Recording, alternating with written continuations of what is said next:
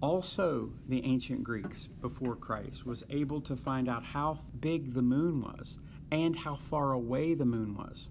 So you can't lay a measuring stick to the moon, but simply using geometry and what he knows about the eclipses and how big the shadow is, then he was able to deduce how big the moon must be and how far away the moon must be, and he was remarkably close, very close, using what he knew. Galileo once said that mathematics is the language in which God created the universe. So everything that's in the universe is related in a very mathematical way. That means that if you drop a marble down a track today and then come back tomorrow, it'll go exactly the same. You can rely on it being exactly the same, and if you can figure it out, there is a mathematical relationship to how fast and what the angle is and how uh, what the ball is and all of that all of those things the parts of what you're observing can be related to each other using math now, this is really hard to teach. The idea of the scientific method is, and you've probably been taught it every year you've ever had science. The scientific method is you observe, and from your observations, you have a question. And then you make a very bold statement called a hypothesis, saying, This is what I think is true. Then, here comes the hard part. You try to imagine an experiment that you could do, that you could do over and over again, that can prove your statement wrong. So you would think that you would want to prove yourself right, but most of the time you're thinking, is there any way that I can disprove my hypothesis? And you design an experiment to try to make yourself fail. And if you can't fail, then you know that what you guessed was right. If you did fail, then you have to rework the hypothesis, make a different statement, and then make another experiment try to fail. So science learns so much not because we're so uh, we're trying to, to look so good. Science knows so much because we're trying to, to make ourselves fall. And if we fall, we know we're right about being wrong. That's pretty cool. If we can't fail, if we can't make it wrong, then we know that we've stumbled onto something that's actually true about the universe. So, this is a review of what I just said. You look, observe, you make a hypothesis, you predict what a hypothesis, and then you perform experiments to try to, to make yourself fail. And then you organize a statement that will make sense of what you found. So, a person who is doing science is always curious, always trying, and any time that you blow it, you tell everybody in the world that you blow it. You are going to be wrong almost all the time. You're almost never going to be right when you conduct an experiment.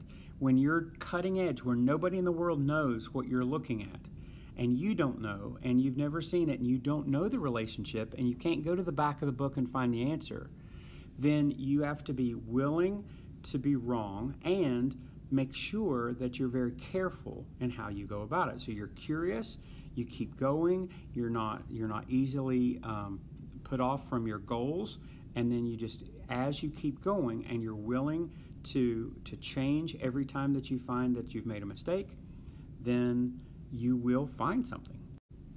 When you say something is a fact in science, it's not necessarily true. It just means it's agreed on by almost everybody. And there are lots of times that almost everybody has blown it. Okay, so a fact can change. Now, a fact, if you want to talk about truth, is something that's actually true. And science uh, uh, tries, strives to do it. But that doesn't mean they're going to do it. But as to the best of their understanding and what they've fit, fiddled with, they say these things are fact. A hypothesis is a guess about something that you don't know yet. And so then you do experiments to test it. Once enough people, and I don't know what that means really, but enough people see that something is a fact, it's considered to be a law. So gravity is a law, thermodynamics is a law, things that no one disputes, and everyone that's done an experiment can do it over and over again. Even we in our classroom can do it. So it's considered a law. A theory is a whole lot of facts together and how he, a, a person that's able to kind of put what am I looking at, and a theory is something that encompasses a lot of research and then can be tweaked. So a theory can change, it can be modified, it can even be abandoned. So science is recording natural phenomena and discovering things. Art is interpretation of human experience, and religion involves faith and worship of a supreme being. These are just definitions. So there is re- realms of science that you can't do. Like I, if I can't test it, if I can't measure it, then I don't consider it science. Many, many scientists are religious people and believe, for instance, in creation, say, but since they cannot prove that, they can't measure it, it's something that can't be repeated, most scientific work is considered very secular, not artistic, not religious, but only it's, called um, basically due on the numbers, only measuring something and the data involved. And the, one of the last things is technology. If you know something, you can make money and so technology usually is making money or using something for purposes to help humanity based upon what we know of the world. Physical sciences um, is geology, that's rocks, astronomy, which is the space, chemistry, physics, oceanography, um, these things. Life sciences are anything alive biology, botany, zoology. And physics is something that connects all of it. Also, chemistry does. So, the physical sciences actually undermine all the sciences. And so, to use it is a good bang for your buck.